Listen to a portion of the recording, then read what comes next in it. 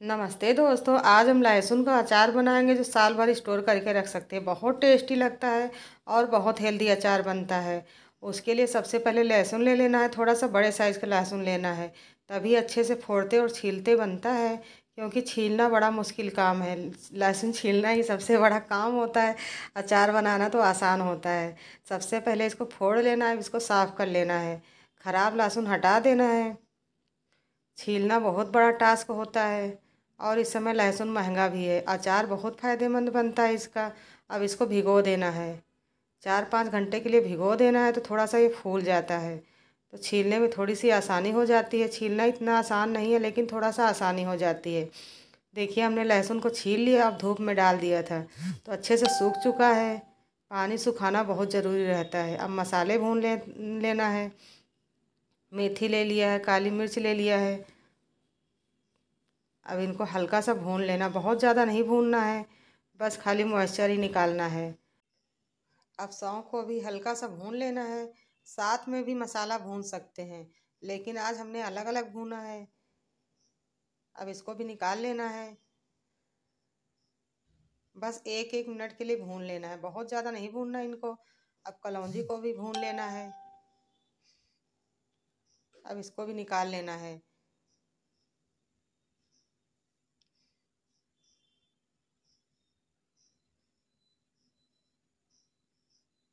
अब जीरा ले लिया है, थोड़ी सी अजवाइन ले लेना है। हल्का सा इसको भी भून लेना है। अब इसको भी निकाल लेना है, इसी मिक्स कर देना है। अब सरसों ले लिया है, राई भी कहते हैं इसको कहीं कहीं। सरसों थोड़ा बड़ा होता है राई थोड़ी छोटी होती है। अब इसको भी हल्का सा ही भूनना है, क्योंकि कढ़ाई गर्म रहती है।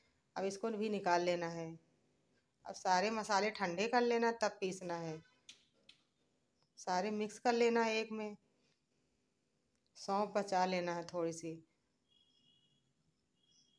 ये अचार बहुत ज़्यादा टेस्टी बनता है और बनाने में बहुत ही आसान है। बस लहसुन छीलने में कठिन है और ऐसे अचार बनाने में तो आसान ही है। बस इसको पीस लेना है, दरदरा ही पीसना है, सिलबट्टे में पीस लेना है या फिर मिक्सर जार में भी पीस सकते हैं। और ठंडी में लहसुन तो बहुत ज़्यादा फ़ायदा करता है, ऐसे भी फ़ायदा करता है। देखिए, इस तरह से पीस लेना है, दरदरा ही पीसना है, तभी अचार में टेस्ट आता है। आप लोग ये अचार ऑर्डर कर सकते घर बैठे अचार मिल जाएगा। बिल्कुल देसी तरीके से अचार बन, बनाते हैं और देसी मसालों से बनाते हैं। घर में इसी तरह से सारे मसाले पीसते हैं और सरसों का तेल भी घर ही का रहता है। इसीलिए अचार बहुत टेस्टी बनता है। अब खटाई ले ली, आम की सूखी खटाई है और काला नमक है, लहसुन है, इसको भी पीस लेना है साथ में। ये घरे की बनाई खटाई है। अमिया को छील के सुखा के इसमें मसाला लगा के रख दिया। जो साल भर ख़राब नहीं होती है, ये खटाई कई चीज़ों में काम आती है। अब इसको पीस लेना है। नमक डालने से बहुत जल्दी पिस जाता है और काला नमक अचार में बहुत अच्छा लगता है। ये खड़ा काला नमक है, इसको लाते हैं, धो के धूप में सुखा लेते हैं। तब एक डिब्बे में भर के रख लेते हैं। पिसा वाला नमक इतना अच्छा नहीं रहता है। इसलिए खड़ा लाएँ, जब भी काला नमक लाएँ तो खड़ा लाएँ, उसको धो के सुखा लीजिए, फिर पीसिए। देखिए, लहसुन है, एक दिन पहले का लहसुन है थोड़ा सा एक दिन पहले छीला था, उसमें हल्दी और नमक लगा के रख दिया था थोड़ा सा तेल लगा के। नहीं तो एक साथ में नहीं छिल पाता इतना लहसुन। अब हल्दी पाउडर डाल दिया है, नमक और लाल मिर्च डाल देना है। कलौंजी डाल देना है और सौंफ।